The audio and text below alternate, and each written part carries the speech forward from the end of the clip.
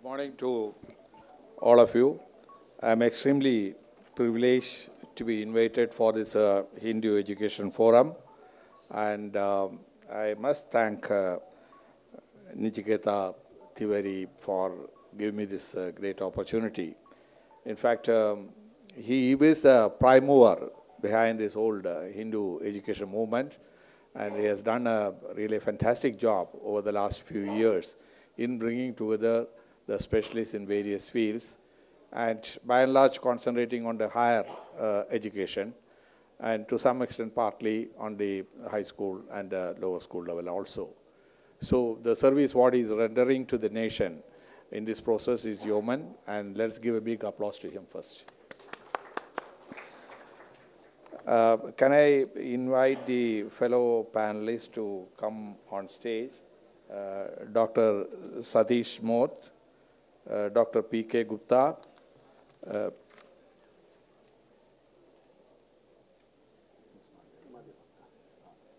Professor Madhi Bhakta, and um, Anj- Anj- Anjali Jaipuria, and Vinay Joshi. Okay, um, uh, Mr. Vinay Joshi was uh, listed, but he has not uh, come over here for this meeting, but others are here. Uh, so we will, uh, uh, I will formally introduce the speakers as the turn comes. Uh, as an introductory remark, let me uh, take a few words. In fact, uh, I have the privilege of uh, having chairing this session after uh, two major sessions are over. So we have all the benefit and wisdom of the speakers from the previous sessions, and uh, we all heard from them what are the plus and minuses of our education system, and how uh, the our uh, Bharatiya Samskriti has uh, really laid the foundation for education in the globe itself, and how it has been built up to a certain extent and later destroyed by the British. And then we are trying to recreate or re-emerge uh, in that area. While talking about all these things, um, one thing came out very clearly. There was a time in which the education was a proprietary of the government. And uh, there were, the system was created in such a way, the government funds it, government uh, regulates it, and then conducts uh, various evaluation and so on.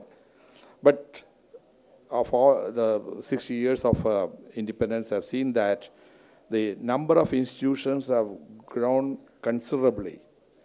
And uh, today we have nearly 700 universities and something like uh, 30,000 odd uh, colleges at various uh, disciplines.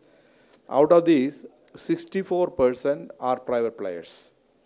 When we have a, such a large private participation in education, uh, naturally our policies and guidelines are they in line or are they in tune with the demands of such a changed uh, system uh, that has been a big question raised and uh, almost every speaker has said that today's the regulatory mechanism is a real disincentive for a quality education in the country we have to address this and uh, we let's see what best it can be done then comes uh, the the there is a business opportunity because the further demand is the, this uh, number of uh, uh, education institutions has virtually doubled over 10 years.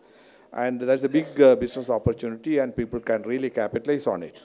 But at the same time, there is a question of uh, funding, how we generate the capital for this, how we generate the returns on it, and how we maintain the services of high quality. Again, the point which came out was um, the education and the research should go in hand, hand in hand. There is a lack of research component in most of the education institutions today. Compared to any Western countries or even in China, the research component is given prominence, and that way it leads to a set of good quality teachers, which is a real requirement for ensuring a proper quality education. So the research component has to be strengthened. Uh, then democratization of the institutions, uh, that is something which is important. Though uh, we say that uh, the authority and the powers are delegated, but it is never being practiced. Uh, the private institutions will have to stand in queue for getting approvals for even small, small items on a day-to-day basis in front of some office, either state government or the central government. and leave alone the so-called uh, prestigious institutions like IITs and IICs, they don't have the autonomy. Every file which calls for uh, expenditure more than one lakh or so, he has to get a signature from Delhi. So this is uh, really not working.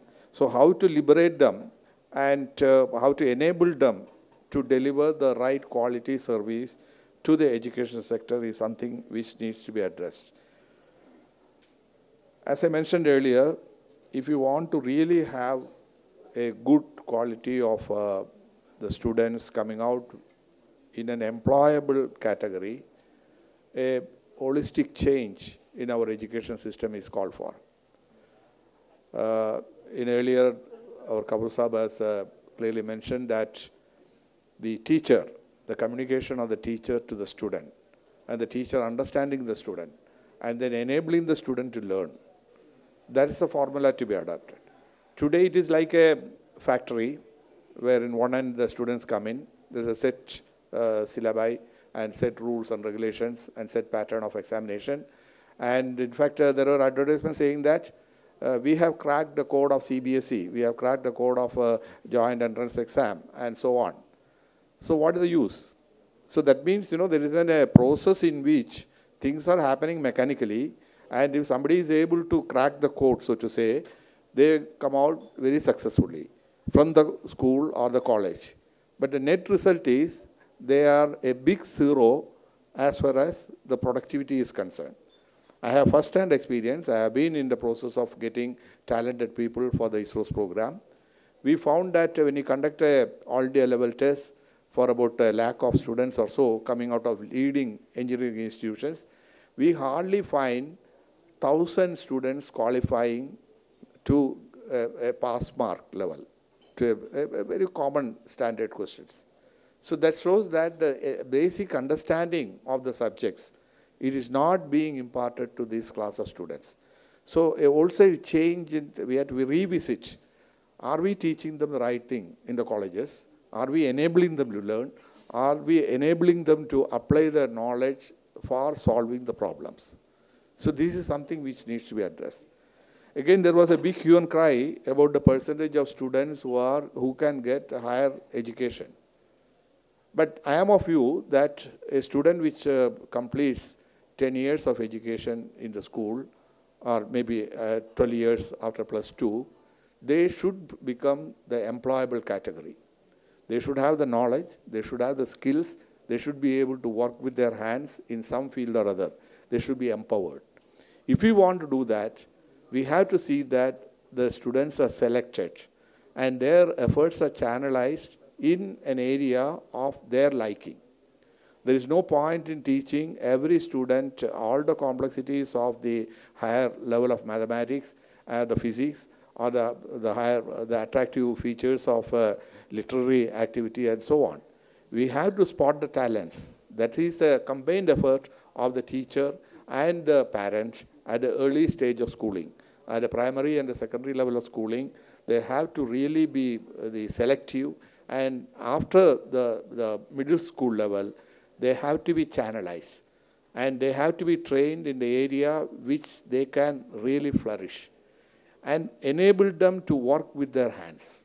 Even today, if somebody comes out of school, they cannot even draft a letter. Or if somebody comes out of a technical school, they can't even change a bulb in a domestic household. So that's the kind of uh, thing which... So you have to have practical laboratories whether it is in science, literature, or uh, commerce, or whatever it is. There has to be places where these children can go and learn what are the day-to-day -day needs of the society and how the knowledge what they acquired can be utilized for that. Then most important is there has to be a value, uh, highest quality, the Indian tradition of the moral value has to be injected at the young level, young age itself. That is the time when the minds can be molded. We have to, today, why all this corruption, greed, and all those things happening? Because they don't have the concern or the sensitivity towards the society, towards the fellow being, even towards their household. So unless we inject these basic qualities in the minds of children, we cannot have a successful product coming out of the schools. Uh, with time, this has vanished. So this is something which needs to be addressed. And again, we can look at what we have done in the Gurukulam system, and there, you know, how people uh, try to absorb the gist of it. What is the methodology? There, the guru, he is a center. So can we have a mentor when a person, when a child enters at the LKG level until uh, he or she completes the uh, schooling at the primary level, she's, uh, the, the child is mentored and guided to go through this, inject moral values into it, and enable them to learn. Don't spoon feed them. You provide a platform by which they can learn. Today, the technology has grown. We are satisfied with 18,000 slokas of Vedic Vedas at one time. But today, if we want to translate the modern knowledge into similar thing, we require 18 billion slokas.